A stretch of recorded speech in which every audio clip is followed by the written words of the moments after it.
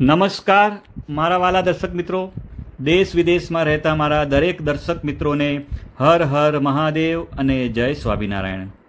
મિત્રો, આજના વિડીયોમાં આપણે વાત કરવાના છીએ કે તમારે દૂધની અંદર ચાર વસ્તુ ઉકાળીને પીવાની છે. એ ચાર વસ્તુ કઈ કઈ છે અને એ ચાર વસ્તુ કેટલી માત્રામાં લેવાની છે અને આને બનાવવાની રીત જેની સંપૂર્ણ માહિતી આ વિડીયોમાં તમને આપવાનો છું. અને કયા લોકોએ આનો ઉપયોગ કરવો નહીં, એની પણ માહિતી આ વિડીયોમાં આપવાનો છું. તો મિત્રો, એક પણ મિનિટની વાર કર્યા વગર આપણે આ રસપ્રદ વિડીયોની શરૂઆત કરીએ. અને કઈ ચાર વસ્તુ અને કેટલી માત્રામાં લેવાની છે, એના વિશે આપણે વિગતમાં જાણીએ. મિત્રો, પહેલી વાત કરું તો તમને કીધું એ પ્રમાણે, આપણે પહેલી વસ્તુ લેવાની છે દૂધ. મિત્રો, વાત કરીએ તો દૂધ આપણને ઘણા બધા ફાયદા આપે છે. તેની અંદર પ્રોટીન, વિટામિન ડી અને કેલ્શિયમ ભરપૂર માત્રામાં હોય છે, જે આપણા હાડકાને મજબૂત બનાવવાનું કામ કરે છે. મિત્રો, ઘણા લોકોનો પ્રશ્ન હોય છે કે દૂધ ક્યારે પીવું જોઈએ? તો મિત્રો, એનો દૂધ પીવાનો જો યોગ્ય સમયની વાત કરું તો એ છે આપણે રાત્રે. જો રાત્રે દૂધ પીએ તો એના આપણને ઘણા બધા ફાયદા થાય છે. મિત્રો, હવે વાત કરીએ તો દૂધની અંદર કેલ્શિયમ ખૂબ જ સારી માત્રામાં હોય છે અને એના લીધે આપણા દાંત અને આપણા હાડકાં મજબૂત થાય છે. અને મિત્રો, જો તમે રાત્રે દૂધ પીવો છો, તો તમને સારી ઊંઘ પણ આવે છે. અને ઘણા બધા ડૉક્ટરો એવું કહે છે કે રાત્રે દૂધ પીવાથી આપણને સારી ઊંઘ આવે છે અને દૂધમાં રહેલું કેલ્શિયમનું શોષણ વધારે થાય છે. મિત્રો, હવે વાત કરું તો ઘણા ડૉક્ટરો એવું પણ કહેતા હોય છે કે ખાલી પેટે દૂધ પીવાનું ટાળવું જોઈએ. એનું કારણ એક એ છે કે મિત્રો, જો ખાલી પેટે દૂધ પીવામાં આવે તો એનાથી મિત્રો કબજિયાત અને ગેસ થવાની શક્યતા રહેલી છે. અને આ સ્થિતિમાં પાચન સંબંધિત સમસ્યાઓથી જે લોકો પીડાય છે, એ લોકોએ તો ખૂબ જ સાવચેતી રાખવાની જરૂર છે. ઘણા લોકો એવા હોય છે કે થોડીક મહેનત કરે અથવા થોડુંક કામ કરે અને થાકી જતા હોય છે. તો જો એવા લોકો જો દૂધનું સેવન કરે તો ચોક્કસ એ લોકોને આનાથી ફાયદો થાય જે આપણે લેવાની છે એ છે મિત્રો વરિયાળી. મિત્રો વાત કરું તો વરિયાળીની અંદર vitamin C fibre potassium manganese copper folate phosphorus magnesium calcium iron vitamin B three જેવા ન્યુટ્રિયન્ટ્સ રહેલા છે કે જે આપણા શરીરને હેલ્ધી રાખવામાં મદદ કરે છે. મિત્રો વાત કરું તો વરિયાળી હૃદય માટે ખૂબ જ ફાયદાકારક છે. મિત્રો, વરિયાળીની અંદર સારી માત્રામાં ફાઇબર હોય છે કે જે હૃદય રોગના જોખમને ઘટાડવામાં મદદ કરે છે અને મિત્રો, એ ખરાબ કોલેસ્ટ્રોલને પણ ઘટાડવામાં મદદ કરે છે. મિત્રો, બીજી વાત કરું તો, વરિયાળી કેન્સરને દૂર રાખવામાં પણ ઘણી મદદ કરે છે. મિત્રો, વરિયાળીમાં જોવા મળતું સેલિનિયમ એક એવું ખનિજ છે જે મોટાભાગના ફળો અને શાકભાજીમાં જોવા મળતું નથી. તે લીવર એન્ઝાઇમના કાર્યને ટેકો આપે છે અને શરીરમાં કેન્સર પેદા કરતા સંયોજનોને ડિટોક્સિફાઈ કરવામાં મદદ કરે છે.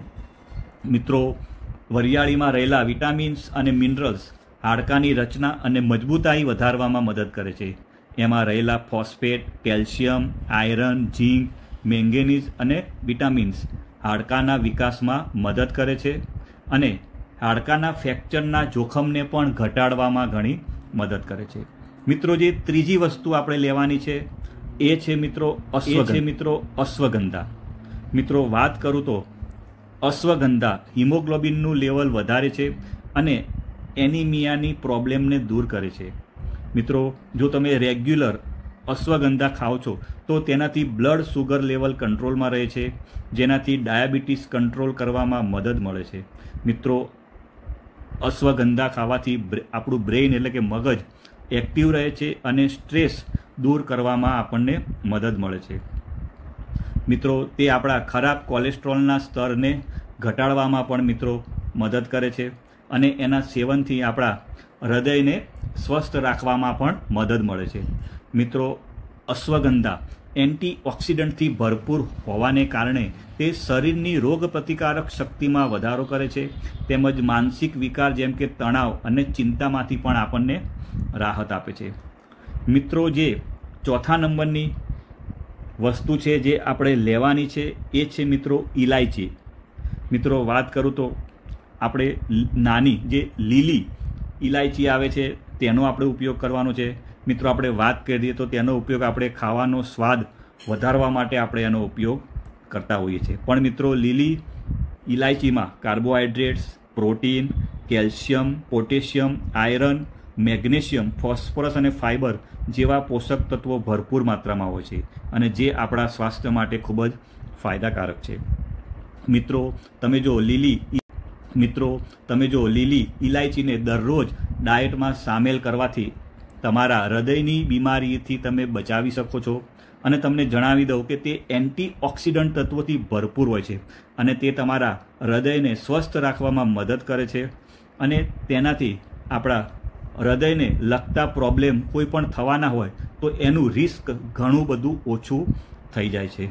મિત્રો, લીલી ઇલાયચી ખાવાથી લીવરને હેલ્ધી રાખવામાં મદદ મળે છે. અને તે એક ડિટોક્સિફાય તરીકે કામ કરે છે. અને તે લીવરમાંથી જે ટોક્સિન બહાર નીકાળવાનું કામ કરે છે અને આપણા લીવરને સ્વસ્થ અને હેલ્ધી રાખવાનું કામ કરે છે. મિત્રો, કેન્સરને દૂર રાખવામાં પણ લીલી ઇલાયચીની ભૂમિકા ખૂબ જ સારી હોય છે. મિત્રો, તે એન્ટી કેન્સર પ્રોપર્ટીઝથી ભરપૂર હોય છે, જે કેન્સર સેલ્સ ઘટાડવામાં મદદ કરે છે. એટલે મિત્રો, તમે આનો પણ સેવન કરી શકો છો. મિત્રો, લીલી ઇલાયચી કોલેસ્ટ્રોલને કંટ્રોલ કરવામાં પણ સારો રોલ નિભાવી શકે છે. તેની સાથે તે હાઈ બીપીની તકલીફને પણ કંટ્રોલ કરવાનું કામ કરે છે. આ બંને તકલીફથી ઝઝુમી રહેલા લોકોમાં લીલી ઇલાયચીનું ખાવાનું, મિત્ર, સારું રહેશે. મિત્રો, વાત કરું તો જે પાંચમા નંબરની જે આપણે વસ્તુ લેવાની છે, એ છે, મિત્રો, આદુ. મિત્રો, વાત કરીએ તો એની અંદર એન્ટી ઇન્ફ્લામેટરી ગુણ હોય છે, જે આપણા શરીરમાં સોજો દૂર કરવાના કામ કરે છે. છેલ્લી વસ્તુ લેવાની છે. એ છે મિત્રો આપણે દોરાવાળી સાકર. મિત્રો એ આપણે સાકરને લઈ અને આપણે એને ભાગી અને એનો પાવડર બનાવવાનો છે અને એના પણ મિત્રો ઘણા બધા ફાયદા હોય છે. હવે મિત્રો તમારે એક ગ્લાસ જેટલું દૂધ લેવાનું છે. તેને મિત્રો તમારે ગરમ કરવાનું છે. ગરમ થઈ જાય પછી તમારે એની અંદર એક ચમચી વરિયાળીનો પાવડર નાખવાનો છે. અડધી ચમચી તમારે અશ્વગંધાનો પાવડર નાખવાનો છે. તમારે એક ઇલાયચી એનો પણ પાવડર બનાવીને નાખવાનો છે. તેમાં તમારે થોડુંક આદુનો ટુકડો, નાનો, એને તમારે છીણીને અંદર નાખવાનું છે અને તમારે થોડું એને ગરમ કરવાનું છે. કમ્પ્લેટ એક બે ઉભરા આવી જાય. પછી તમે એને ઠંડુ પાડી દો. ઠંડુ પાડીને તમે એક ચમચી જેટલી તમે દોરાવાળી સાકર જે આવે છે એ તમે નાખી અને તમે એને રાત્રે પી શકો છો. મિત્રો, તમે રાત્રે પીશો તો ખૂબ જ ફાયદો થશે. જે લોકોને ડાયાબિટીસ છે, એ લોકોએ સાકરનો ઉપયોગ કરવો નહીં. અને આ વસ્તુનો ઉપયોગ કરતાં પહેલાં પણ તમારે જે ડૉક્ટરની દવા ચાલતી હોય, એ ડૉક્ટરનો સંપર્ક કરી અને પછી જ આ નુસ્ખાનો ઉપયોગ કરવો.